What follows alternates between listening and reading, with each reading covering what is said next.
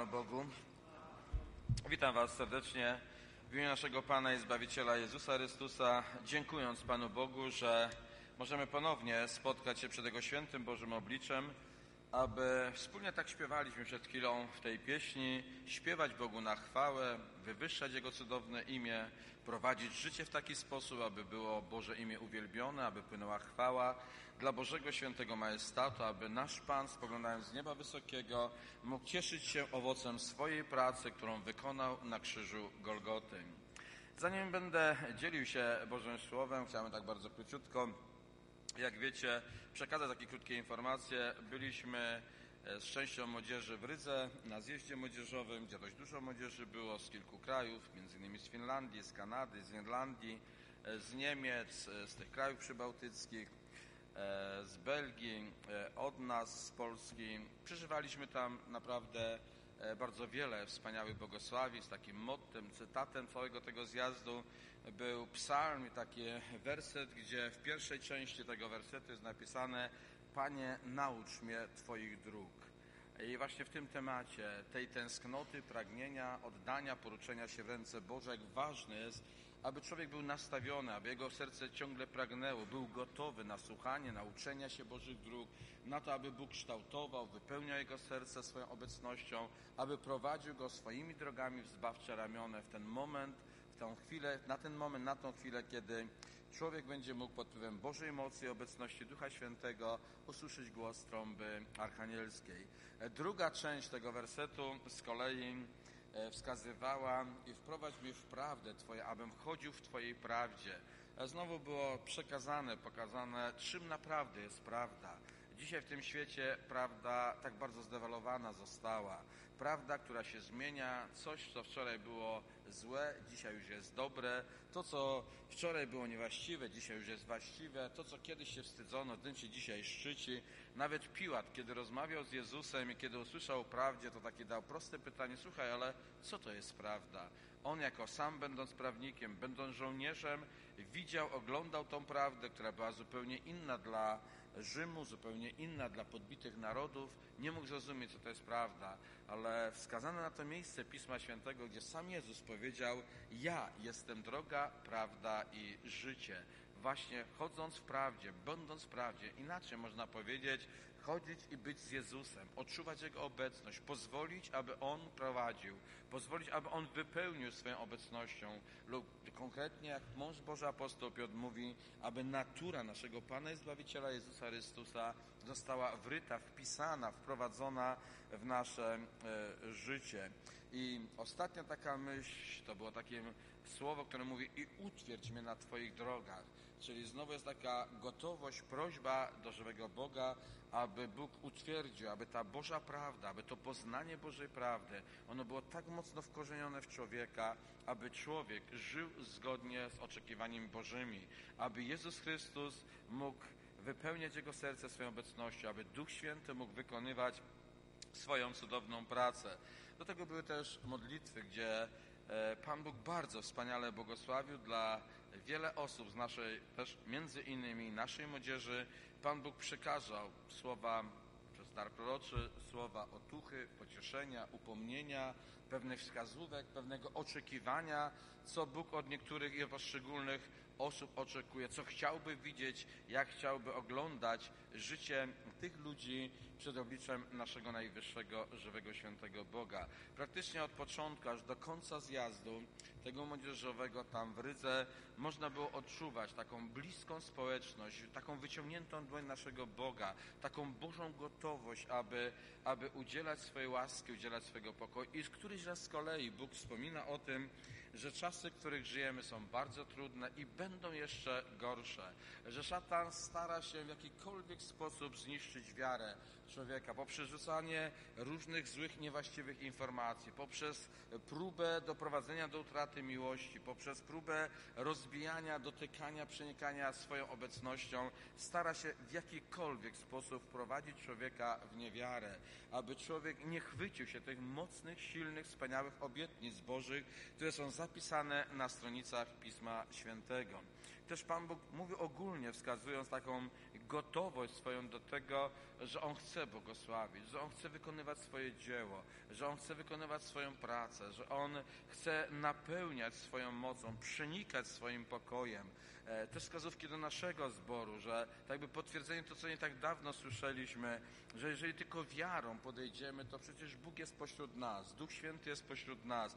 Pan Bóg chce wykonywać swoje dzieło, chce wykonywać swoją pracę, dotykając mocą swego świętego imienia. Drodzy, myślę, że obfitość tego Bożego przekazu, której byliśmy świadkami, e, którą mogliśmy słuchać, ona bardzo mocno pokazuje nam, wskazuje na ten czas, w którym naprawdę żyjemy w tym ostatecznym, w tym trudnych czasie, może nawet nie czasie, ale w ostatecznych dniach. Ja zdaję sobie tego sprawę, że to jest taki temat, który się ciągnie już od pierwszego kościoła, już w pierwszym kościele niektórzy ludzie podawali wątpliwość, bo kiedy mówił Jezus o swoim przyjściu, kiedy później apostołowie mówili o Jego e, przyjściu, mijały dni, mijały lata, e, tak jakby nie, to było, nie, nie, nie zostało to zrealizowane i ludzie poddawali wątpliwość. Ja myślę, że i w naszych sercach czasami buduje się taka lekka wątpliwość lub odciągamy w czasie ten moment przyjścia Pana Jezusa, bo przecież tyle razy słyszeliśmy kazania, bo przecież i niejednokrotnie też i Duch Święty o tym mówił, a jednak, a jednak jeszcze żyjemy. Ja myślę, że należałoby sobie w tym momencie przypomnieć takie jedno miejsce Pisma Świętego, które myślę daje trafną odpowiedź na tą, na tą być, może, na te być może różne rozmyślanie naszego serc. Słowo Boże mówi tak, nie zwleka Pan ze swoim przyjściem, ale oczekuje, aby każdy z nas, ja mówię oczywiście swoimi słowami, aby każdy z nas mógł przygotować się na to spotkanie z Nim. To Boże miłosierdzie nad Tobą, nade mną, nad każdym z nam, nad nami, ono właśnie działa przez to, że jeszcze nie ma tego momentu, bo być może, gdyby tej chwili, gdyby nastąpił moment podchwycenia Kościoła, być może ktoś z nas nie byłby przygotowany na to przyjście Pana Jezusa Chrystusa i dlatego Bóg tak intensywnie przemawia, dotyka, wskazuje, tak jakby chciał nam do, zmusić, że tak określę, do tego, abyśmy zaczęli rzeczywiście na bardzo poważnie brać te słowa nauki o przyjściu Pana Jezusa Chrystusa, a przede wszystkim o tej gotowości na spotkanie z Nim, o tej gotowości poruczenia, oddania się w Jego ręce, na tą gotowość, aby On mógł kształtować nasze serca i nasze wnętrza. I możemy oczywiście zadać sobie pytanie, e, gdy tak głębiej sięgniemy do naszego serca, e, tak przed Bogiem, nie jedni przed drugimi, ale przed Bogiem, tym Bogiem, który zna nasze serca, który wie dokładnie, co się znajduje w naszym życiu, który wie dokładnie, zna nas stan duchowy, czy rzeczywiście jestem na ten moment przygotowany na przyjście mego Boga? Czy jestem przygotowany na to, aby Bóg zakończył ten czas łaski, oczekiwania, miłosierdzia i zrealizował te swoje cudowne, wspaniałe obietnice, o których tak wiele, wiele święte Boże Słowo nam mówi. Drodzy umywanie, myślę, że jest to taki szczególny okres Bożego miłosierdzia, szczególny okres Bożej łaski. Dlatego, kiedy analizuję te ostatnie tygodnie, może miesiące naszego wspólnego życia, to zgodzimy się, że tak wiele, tak często w ostatnim czasie, przez różne okoliczności, w które znaleźliśmy się, Bóg przemawiał, przemawia, dotykał i dotyka naszego serca. Tak bardzo chce nas zmobilizować do tego, abyśmy stanęli, że tak określę, na wysokości zadania. Sięgnęli swoim wzrokiem do Bożego Świętego Słowa i tak naprawdę podeszli bardzo szczerze do żywego, świętego Boga.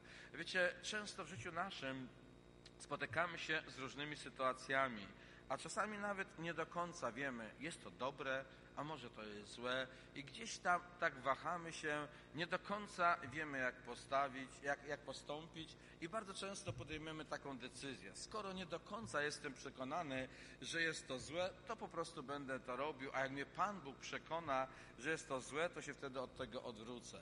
I tak sobie zadałem pytanie, gdyby podano mi szklankę wody, i ktoś powiedział, Roman, ale nie wiem dokładnie, czy ta woda jest czysta, czy czasami w nim nie jest rozpuszczony cjanek. Nie mogę Ci powiedzieć ani tak, ani nie. Nie wiem, czy ona jest czysta, czy ona jest cjankiem. Jak myślicie, wypiłbym tą wodę? Na pewno nie. A jeżeli tam był cjanek? A jeżeli tam była jakaś trucizna, skosztował tą wodę czy nie? Na pewno nie. W trosce o swoje zdrowie, o swoje życie. Taki prosty fizyczny przykład, takiego naszego codziennego życia. A często, kiedy dotyczy to spraw naszej społeczności z Bogiem, naszego utrzymania kontaktu z naszym Panem, e, takiego naszej służby dla Boga, to w sytuacjach, które nie do końca wiemy, dobrze czy źle, dochodzimy do wniosku nie tak jak w tych fizycznych sprawach, że na wszelki wypadek nie zrobię, nie sięgnę po tą szklankę, bo jeżeli jest tam cianek, to po prostu umrę. A w sprawach duchowych mówimy inaczej. Na razie jestem nieprzekonany, to czynię. A jak kiedy mi Bóg przekona, to nie będę czynił. Drodzy, przenieśmy z tego codziennego, takiego praktycznego, fizycznego naszego życia tym bardziej na sprawy duchowe, na sprawy naszych relacji z Bogiem, naszej społeczności z Bogiem. I w tych przekazach, e, dlatego posłużyłem się takim przykładem, właśnie Bóg pokazywał, jakby wskazując, że często właśnie w sytuacjach takiej niepewności, kiedy nie do końca być może y, nie wiemy jak, to sobie pozwalamy zamiast zatrzymać się, być może dać się, zanurzyć się w modlitwach, może w poście, może zgłębić Boże Święte Słowo, aby otrzymać od Boga tą jednoznaczną odpowiedź i dopiero wtedy podejmować decyzje, to często, skoro nie wiadomo jak, to sobie mogę na to pozwolić. I niejednokrotnie jest to przyczyną takiej wewnętrznej utraty, takiej głębokiej osobistej społeczności z Bogiem, utraty Bożego działania, Bożej mocy, utraty jakiejś takiej chęci, zapału dla służby dla Boga. Gdzieś ta pierwsza miłość zaczyna przegasać w moim sercu. Ogólnie patrząc, że nie zauważam za sobą, że być może czynię jakieś grzechy, raczej staram się nie czynić, raczej jestem przekonany, że, że no w miarę możliwości e, no jestem w porządku przed obliczem Boga, ale właśnie kiedy sięgniemy do tych spraw, które, które mówimy często, nie do końca wiadomo, czy tak, czy inaczej, to zauważymy, że szatan, który chce odprowadzić człowieka od Boga, szatan, który chce wykraść pokój w sercu człowieka, szatan, który chce doprowadzić człowieka do takiego stanu zobojętnienia, e, takiego stanu niezadowolenia, takiego stanu zagubienia, to on nie prowadzi od razu i nie nakłania człowieka do morderstwa, bo podejrzewam, że na pewno by mu się to nie udało. Ale on właśnie wyprowadza, on szuka takich momentów naszego życia, gdzie nie do końca jesteśmy z czymś przekonani i próbuje nas prowadzić na swoją stronę. Dlatego, drodzy, jak ważne jest, abyśmy ciągle pamiętali takie wspaniałe słowo, takie proste słowo, a jak bardzo wymowne. Słowo Boże nam mówi, Bóg o tym mówi, bądźcie świętymi, jakim ja, jak i ja jestem święty. To jest taka krótka, prosta definicja. Tam nie ma żadnej filozofii, tam nie potrzebna jest żadna teologia, tam po prostu jest potrzebne wierne posłuszeństwo prostemu, świętemu Bożemu Słowu. I w tej świętości naszego Boga, w świętości Jezusa Chrystusa zauważymy to, co często bracia powtarzają i ja też to miejsca lubię powtarzać, zauważymy pewien taki wspaniały wzór życia naszego mistrza. Jezus był w ciele na tej ziemi, otoczony różnymi problemami ludzkimi, które go otaczały. Znajdował się w ciele, gdzie pan, e, w świecie, gdzie panował grzech. Ale Jezus powiedział sobie takie kilka wspaniałych rzeczy. Boże Słowo to zarejestrowało.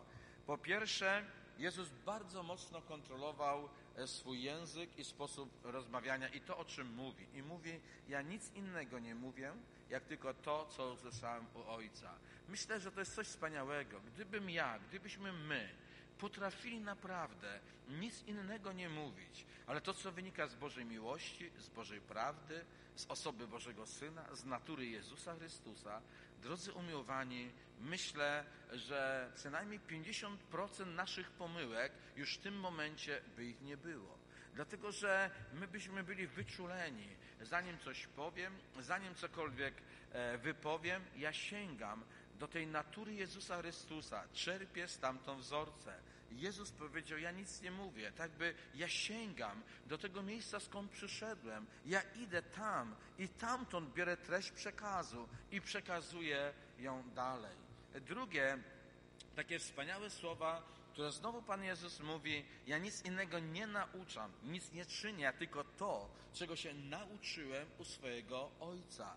Znowu pokazuje drugą taką dziedzinę codziennego naszego życia, nasze działania, nasze czyny, zachowanie, w różnych środowiskach, gdzie się znajdujemy, w pracy, w szkole, w domu, w sklepie, no gdziekolwiek się znajdujemy, otoczeni, będąc w tym naszym codziennym życiu. I Pan Jezus znowu daje taką ciekawą, prostą, bardzo zwięzłą receptę. Ja to, co czynię, to, co, w jaki sposób działam, ja to wszystko robię tak, jak się nauczyłem u swojego Ojca. Kochani, gdybyśmy znowu my potrafili na moment się zatrzymać, nie być tacy szybcy w podejmowaniu decyzji, ale chwileczkę się zatrzymać, skierować swój umysł na Boga, na Boże Święte Słowo, zadać sobie pytanie, czy to, co chcę uczynić, mieści się w naturze Jezusa Chrystusa, że to, co chcę zrobić, jest to zgodne, mógłbym to zrobić przy Jezusie, śmiało patrząc w Jego oblicze, gdyby w nas coś takiego było, gdyby w nas była taka czujność, jaka była czujność Jezusie Chrystusie, który mówi, ja nic innego nie nauczam, nic innego nie czynię, jak tylko to, co nauczyłem, co zaczerpnąłem, co wziąłem, co widziałem, czego byłem świadkiem, co doświadczyłem, będąc u Ojca swojego. Drodzy umiłowani, i dlatego Duch Święty zostaje posłany na tą ziemię. Został posłany. Dlatego z Bożej łaski miłosierdzia bracia i siostry zostaliście napełnieni mocą Świętego Bożego Ducha, aby mieć to Boże wyposażenie, aby mieć to Boże światło, tak jak Jezus przyszedł z nieba, przyszedł od tronu Ojca Niebieskiego, tak i myśmy otrzymali łaskę Ducha Świętego, pochodzące od nieba, postępujące, przenikające i żywiące nasze serca, i na bazie tego możemy brać wzór z naszego mistrza i Zbawiciela Jezusa Chrystusa, a to pozwoli, abyśmy korzystali coraz więcej i więcej z potężnych, wspaniałych Bożych obietnic. Nieważna jest liczba, ale kiedy sięgniemy do Bożego Słowa, ktoś kiedyś obliczył, ja tego nie sprawdzałem, ale tak przynajmniej napisał w pewnym takim sprawozdaniu, że w Biblii jest ponad 36 tysięcy obietnic Bożych. Każda obietnica w Chrystusie Jezusie, kiedy czytamy Nowy Testament, ona jest tak i amen. Bóg nie jest ograniczony w swoim działaniu. On jest bardzo chętny do tego, aby przenikać, aby dotykać, aby wyposażać nasze serca mocą swego świętego, cudownego Bożego imienia. I drodzy, tak naprawdę to od nas jest uzależnione na ile możemy korzystać z Bożego pokoju. Ja myślę, że każdy z nas doświadczył, że kiedy były takie momenty w życiu, czy to przeżył przez Duchu Świętym, czy przeżył jakieś takie dotknięcie Bożej łaski, czy Pan Bóg uzdrowił, czy rozwiązał jakiś inny problem. No przeżył takie, nazwijmy, szczególne dotknięcie Bożej łaski. I kiedy pod wpływem tego przeżycia, tej mocy Bożej, odbierając na bazie podstawie nauczania Bożego Świętego Słowa, później żył przez następne kilka dni, może zauważyć, że to życie było jakimś takim innym. Żył niby normalnie, mieszkał w tym samym mieszkaniu, pracował w tym samym miejscu, chodził do szkoły, tam gdzie chodzi do tych pór, ale jego całe życie, te wydarzenia, te różne sytuacje, które go otaczały, mógł zauważyć tak bardzo wyraźnie tą wyciągniętą dłoń Boga, która go prowadziła, tą wyciągniętą dłoń Jezusa, która go prowadziła przez te różne sytuacje jego życia. I w tym codziennym życiu nawet i inni patrząc, zauważali, że w życiu tego człowieka coś się dzieje, coś, co, czego brakuje innym ludziom. A właśnie życie tego człowieka było otoczone, jest otoczone mocą świętego Bożego imienia. I Boża prawda, i Boże obietnice właśnie zmierzają do tego, abyśmy nie tylko mówili o tym, o tej prawdzie, że nasz Pan Jezus Chrystus jest zawsze z nami na każdy dzień, ale aby ta obecność Jezusa była widoczna w mojej mowie, widoczna w moim działaniu, widoczna w moim całokształcie mego życia przed obliczem mego żywego świętego Boga. Dlatego Pan Bóg posłał Ducha Świętego, aby w Jego mocy, w Jego autorytecie człowiek był uzdolniony, przygotowany do wykonywania tej wspaniałej Bożej woli. I drodzy umiłowani, i myślę, tak dlatego o tym powiedziałem, bo oczywiście nie cytuję przekazów Bożych, ale ta treść, to ta myśl, to nauczanie, ono w ciągu tych dwóch dni e, tego zjazdu w Rydze, praktycznie trzech dni, e, łącznie z niedzielą tego zjazdu w Rydze e, na Łotwie, właśnie w tym kierunku Bóg tak jakby, tak jakby chciał nas przygotować, tak jakby chciał tamtych obecnych wprowadzić, tak jakby chciał przypomnieć o tym, że nie tylko na ustach On chce, abyśmy mówili o Jezusie Chrystusie, o Nim. On pragnie naprawdę towarzyszyć nam na każdym, w każdym kroku naszego życia i postępowania, ale jak już powiedziałem i jeszcze raz powtórzę, jest to bardzo mocno uzależnione ode mnie. Jest to bardzo mocno uzależnione od Ciebie. Myślę, że tutaj jest taka potrzeba, aby wziąć jeszcze sobie z jednego e, przykładu Jezusa wzorzec. A mianowicie Pan Jezus czynił jeszcze jedną bardzo ważną rzecz. On bardzo mocno pracował, będąc na tej ziemi, aby utrzymywać stabilną, ciągłą, nierozerwalną łączność ze swoim Bogiem. Proszę zwrócić uwagę, ile Boży Syn poświęcał czasu na modlitwie. Kiedy uczniowie zmęczeni kładli się do snu, dawali odpoczynek e, dla swojego ciała, to nasz Pan, będąc w tym samym ciele, spędzał te noce na modlitwie, na rozmowie. Ciągle nam wskazuje Pan Jezus, ciągle nam wskazuje na, ten, na tą potrzebę. Jezus chciał jak najwięcej czasu spędzić na rozmowie ze swoim Ojcem. Kiedy miał świadomość, że musi wykonać potężne zadanie odkupienia człowieka na tej ziemi, to znowu jego przygotowanie prowadzi przez rozmowę ze swoim Ojcem. Idzie tam, aby się modlić ze swoim Ojcem. Pada, woła, mówi, wylewa swoją duszę przed swoim Ojcem. Myślę, że tutaj powinniśmy zadać sobie pytanie, tak naprawdę, ile czasu ja poświęcam na modlitwę?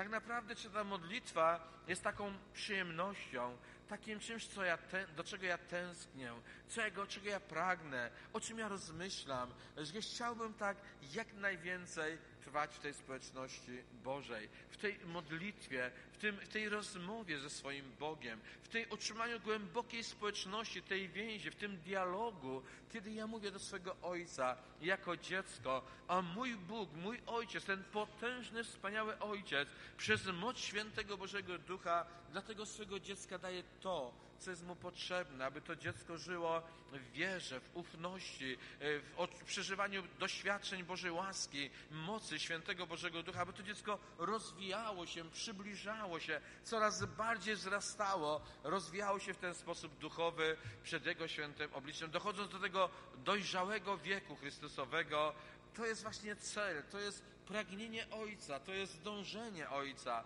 ale aby to osiągnąć, jest potrzebne, abyśmy wzięli sobie przykład z Jezusa. Jezus spędzał bardzo dużo czasu na modlitwie. Jezus spędzał wiele czasu na modlitwie.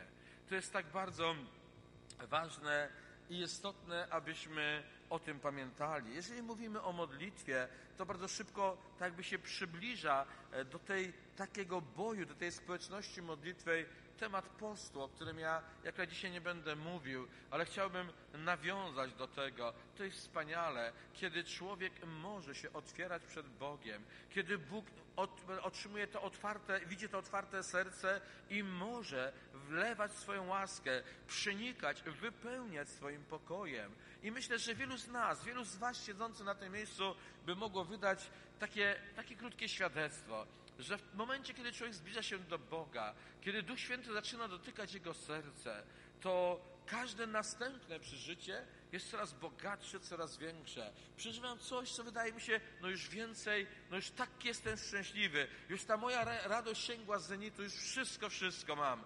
Ale kiedy następnym razem Bóg do, dotyka, okazuje się, że On jeszcze głębiej, jeszcze mocniej mnie wyposaża. Kiedy następny, następny, za każdym razem. I mąż Boży apostoł Paweł, który to doświadczał, w końcu tak jakby rozłożył swoje ręce, tak jakby nie będąc, nie będąc w stanie ogarnąć tej potężnej miłości Bożej, mówi o miłości, głębokości Boże, któż Cię ogarnąć, któż Cię pojąć, któż Cię zrozumieć może, jak wielka jest Twoja łaska, jak wielka jest Twoja dobroć, o nasz drogi Panie, chwała naszemu Jezusowi, a przecież On wczoraj, dzisiaj i na wieki jest ten sam. I dzisiaj On pragnie coraz mocniej, coraz głębiej, coraz silniej, coraz w pełni wypełniać Twoje serce, aby Twoje przeżycia z Bogiem nie były datami historycznymi, aby to nie były wydarzenia od czasu do czasu, ale aby to było życie, chodzenie w Bogu i z Bogiem, w Jego łasce, w Jego cudownym Bożym Świętym namaszczeniu. Chciałbym przeczytać takie miejsce Pisma Świętego, które jest zapisane w pierwszym liście do Koryntian, w drugim rozdziale, czwartym wersecie. Przeczytam kilka wersetów. Chciałbym zwrócić naszą uwagę na tą właśnie Bożą gotowość, E, Bożą łaskę, który chce dotykać nasze duchowe życie, ale On też wyciąga swoją dłoń, aby rozwiązywać i nasze ludzkie potrzeby, problemy e, zdrowotne. On chce swoją mocą rozwiązywać i swoim pokojem. I po pierwsze apostoł Paweł w tym pierwszym liście do Koryntian, drugim rozdziale i czwartym wersecie mówi tak. A mowa moja, zwiastowanie moje nie było głoszone w przekonywających słowach mądrości, lecz objawiały się w nim duch i moc. Jeżeli przypomniemy sobie świadectwo, które wydali ludzie o Jezusie, to też jest napisane, że dziwili się, kiedy słuchali Pana Jezusa, że nie nauczał, nie mówił jak nauczeni w piśmie, jak faryzeusze, ale mówił jako, jak ten, który posiada moc. Jezus przekazywał prawdę w autorytecie Ojca swojego. I apostoł Paweł mówi bardzo wyraźnie, że kiedy zwiastowałem moje słowo, kiedy zwiastowałem to słowo, kiedy głosiłem prawdę Bożą, nie opierałem się, nie dążyłem, nie chciałem, nie był to mój pierwszy cel, aby to ubrać w głęboką logikę i mądrość ludzką. Ale tak bym chciał powiedzieć, ale oczekiwałem i objawiły się w tym zwiastowanie moc i Duch Święty, który nadawał autorytet temu słowu, który nadawał moc, która powodowała, że ludzie słuchający doświadczali tego wspaniałego Bożego pokoju. Doświadczali, że to słowo nie pochodzi od człowieka, że to słowo nie jest wypracowane umysłem człowieka, ale ono pochodzi od żywego, świętego Boga. Albowiem Ewangelia Pana Jezusa Chrystusa, wszyscy o tym dokładnie wiemy, jest mocą, siłą Boga ku zbawieniu dla każdego wierzącego. Droga siostro, drogi bracie, tą Ewangelię masz w swoim ręku, tą Ewangelię masz w swoim sercu, tą Ewangelię czytasz, czytasz Bożą moc, która ma siłę przekonania i rozwiązanie każdego jednego problemu. Kiedy przeczytamy dzieje apostolskie, 14 rozdział, zauważymy też bardzo ciekawe świadectwo, a mianowicie trzeci werset, 14 rozdział, trzeci werset, jest to mowa, kiedy Paweł i Bardama byli w Ikonium. I tam w tym trzecim wersecie jest napisane tak. I przybywali tam przez dłuższy czas, mówiąc odważnie w ufności ku Panu, który słowo łaski swojej potwierdzał znakami, cudami, jakich dokonywał przez ich ręce. Proszę zwrócić uwagę, przebywali tam dłuższy czas.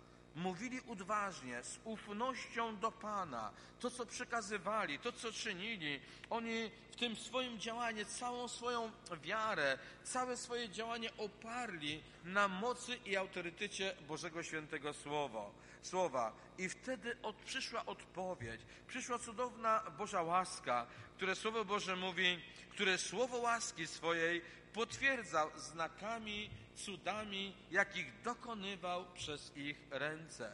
Proszę zwrócić uwagę, znowu jest pokazane, pokazane w życiu apostołów, którzy oddali się w ręce Boże. Ono było bardzo podobne do życia naszego mistrza i zbawiciela Jezusa Chrystusa, jeżeli chodzi o to Boże, duchowe działanie. Dlatego, że Ewangelia Świętego Mateusza, czwarty rozdział, nam pokazuje z kolei pewne wydarzenia, czy ilustruje tą prawdę, która była w otoczeniu Jezusa Chrystusa. Czwarty rozdział Ewangelii Świętego Mateusza i dwudziesty czwarty werset.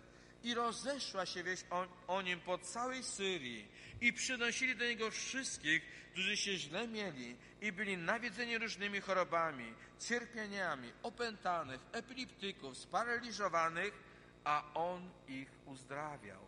Chwała Panu Bogu. Ja myślę, że to było coś wspaniałego. słyszą o Jezusie, idą do Jezusa, są przekonani, są pewni, kiedy dojdą, przyjdą, spotkają się z Jezusem, ich choroba, ich choroba, ich opętanie, ich sparaliż, to wszystko zostanie usunięte mocą Jezusa Chrystusa. Kiedy czytaliśmy przed, przed chwileczką dzieje apostolskie, podobnie Słowo Boże mówi, a Pan potwierdzał znakami, cudami, jakich dokonywał przez ręce tychże apostołów. Proszę zwrócić uwagę, jak wspaniale Bóg błogosławi tych ludzi, którzy naśladują Jezusa, który powiedział: Nic innego nie mówię, jak tylko to, co usłyszałem u mego Ojca. I nic innego nie nauczam, nie czynię, jak tylko to, czego się nauczyłem, co widziałem, co doświadczyłem u swojego Ojca. Kiedy czytamy następnie e, dzieje apostolskie, piąty rozdział i szesnasty werset, znowu jest taka króciutka charakterystyka tego wspaniałego Bożego działania.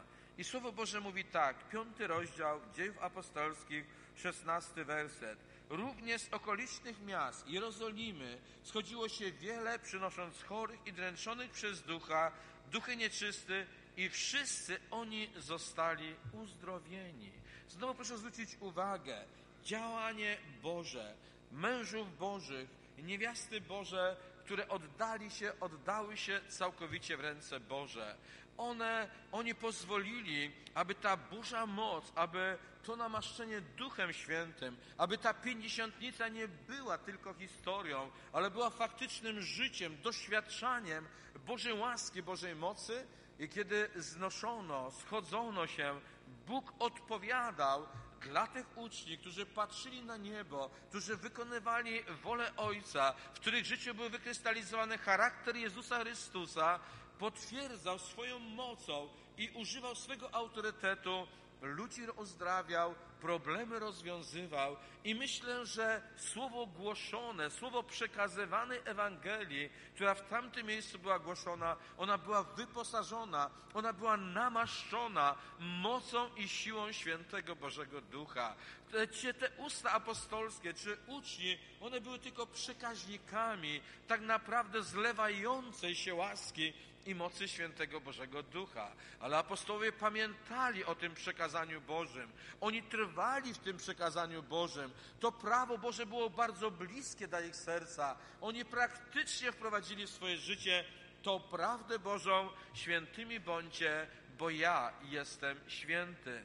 Kiedy sięgamy dalej do Bożego świętego słowa i czternasty rozdział i dziewiąty werset mówi nam o takim pewnym działaniu Bożym, które, e, które dotyczyło uzdrowienia. I zwróćmy uwagę, co tam jest napisane. Może ustny przeczytam.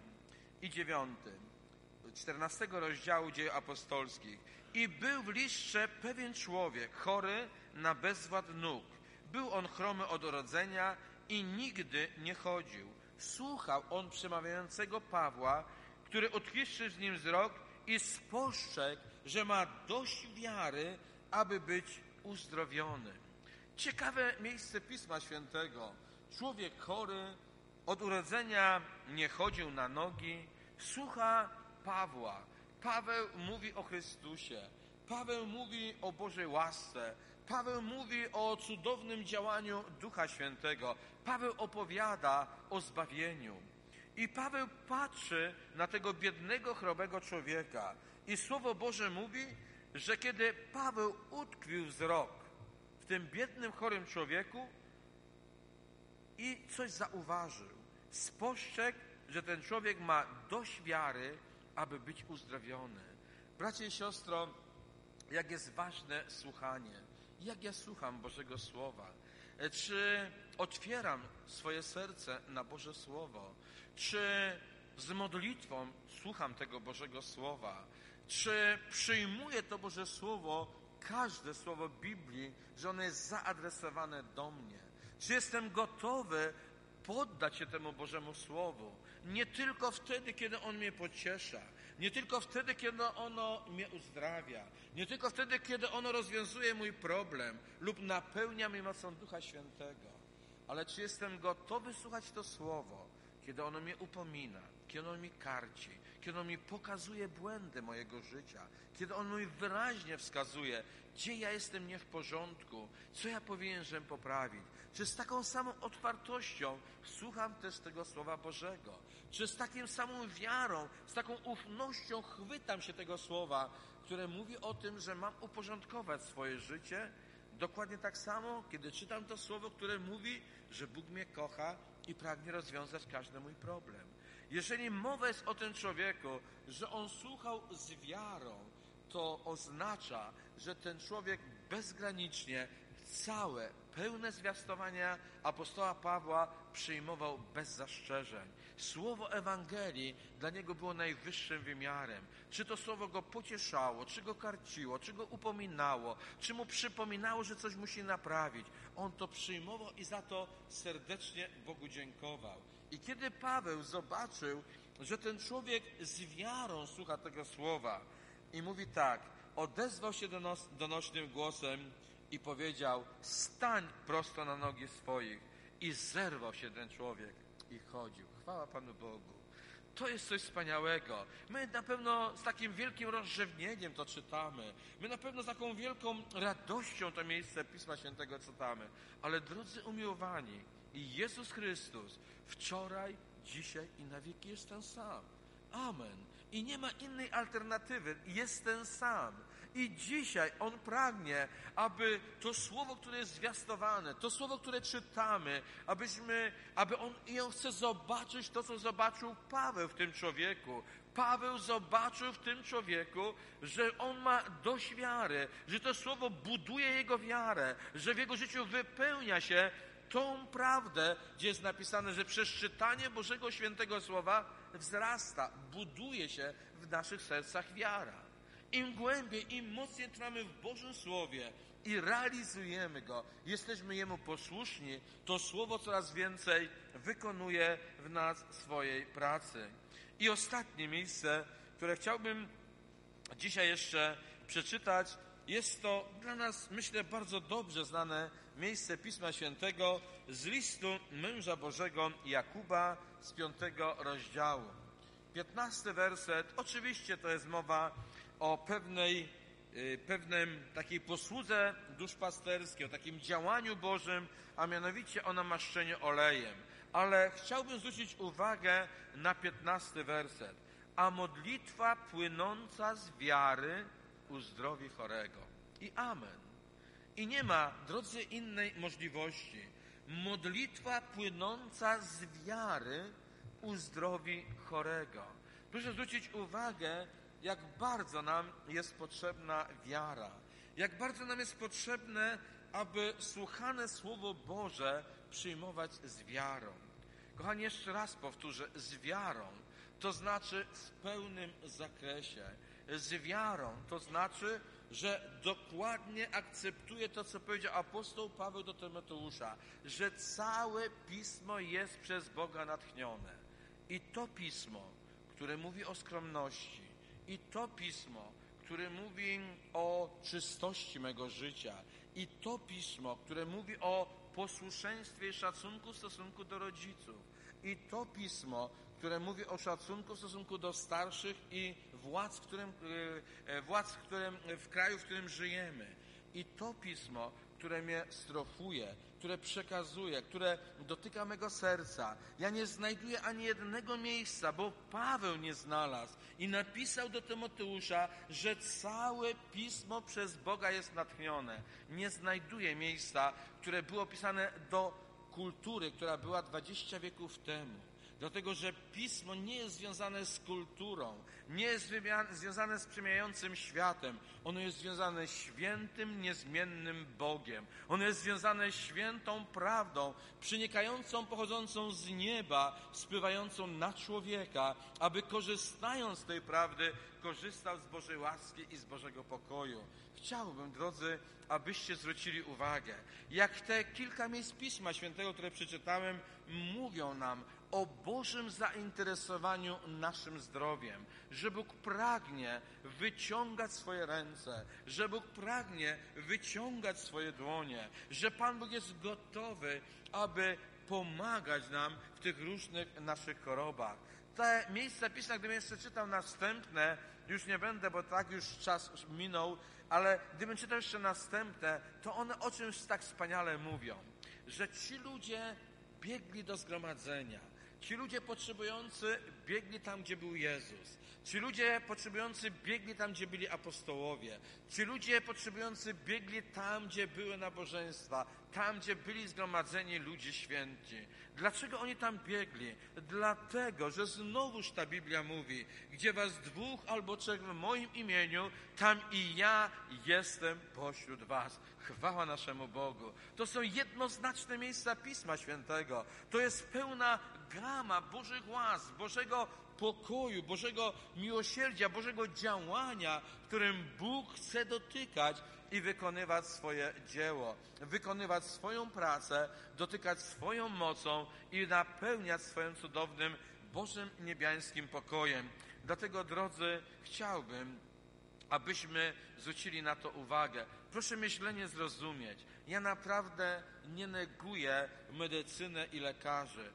Wręcz przeciwnie, uważam, że należy za tymi ludźmi modlić, aby Bóg dawał im mądrość, aby korzystając z tej wiedzy medycznej mogli w jak najszerszym stopniu nam pomóc. Ale chcę pokazać, że człowiek wierzący ma przede wszystkim obok tego wszystkiego, co jest dostępne, coś najważniejszego, coś najskuteczniejszego, coś najwspanialszego, a mianowicie swego Boga, swego Ojca, który zainteresowany, który pragnie, aby nasze życie na tej ziemi, nasze życie, Twoje, moje, nasze życie na tej ziemi było napełnione Jego obecnością, Jego mocą, Jego siłą działania świętego Bożego Ducha. Tak Bóg pragnie. W tym się wypełnia słowa Jezusa Chrystusa, że przyszedłem, aby dać im życie. Jakie? Życie, w którym by obfitowali. I ta obfitość Bożego działania, Bożej obecności, Bożego pokoju,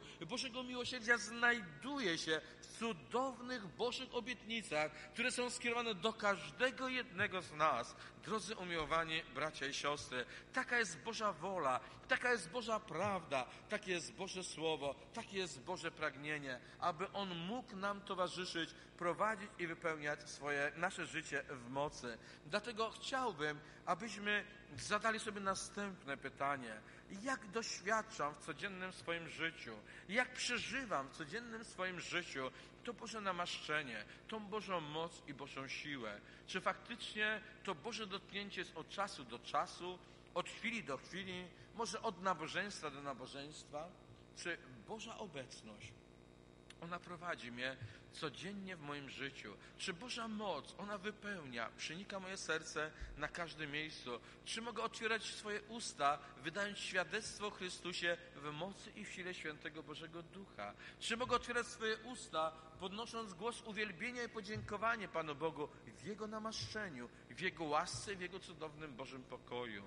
Boża wola jest taka, abyśmy w Jego autorytecie, w Bożej mocy mogli prowadzić nasze codzienne życie. Ja już nie będę wracał do myśli, których powiedziałem, ale tak bardzo bym pragnął, drodzy, abyśmy zwrócili. Mamy najlepszego lekarza, mamy wspaniałego Jezusa, mamy najlepszego doradcę, najwyższego kapłana, Jezusa Chrystusa, który tak ukochał Ciebie, że nie tylko przyszedł na tą Golgotę i oddał swoje życie, ale i dzisiaj jest na tym miejscu, aby Cię wziąć na swoje ramiona, aby ponieść, aby Cię przytulić do swojej piersi, aby wlać ten pokój, wlać tą cudowną łaskę, przyniknąć mocą, ożywić swoim pokojem, bo On jest na tym miejscu. Chwała naszemu Panu.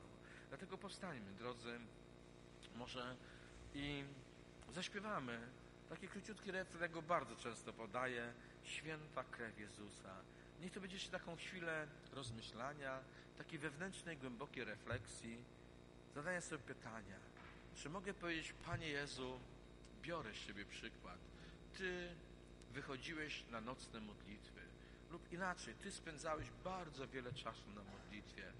Być może można powiedzieć, muszę powiedzieć, Panie, daj mi siły, bo jednak za mało trwam w bo jednak brakuje mi tej społeczności modlitewnej bo jednak nie do końca doceniam tej takiej stabilnej, ciągłej społeczności, tego ciągłego zjednoczenia z Twoją łaską, z Twoim pokojem.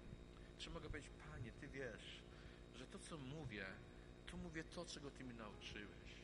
Lub też czy muszę powiedzieć, Panie, Ty wiesz, jak bardzo często, nie myśląc, bezmyślnie, klepię jęzorkiem na prawo i na lewo. Przebacz mi.